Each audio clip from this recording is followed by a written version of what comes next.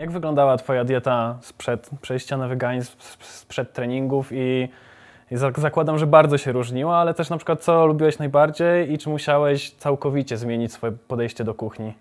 No więc wyglądała, była anty, antytezą diety wegańskiej. To znaczy miałem takie podejście do tego, że posiłek bez e, mięsa, nie wiem, bez szynki, bez kotlet, kotlet, bez jakiegoś tam steka, nie jest posiłkiem. Znaczy on jakby no, w ogóle bez sensu, nie? Że piątek, ja pochodzę z rodziny, gdzie w piątek się nie jadło mięsa, e, z, z przyczyn religijnych i zawsze tak było i u mnie w domu też tak było. To był najgorszy dzień w tygodniu, no po prostu chodziłem głodny, nienajedzony, mamo, no jak mamo, dodaj, no jak tak można, nie?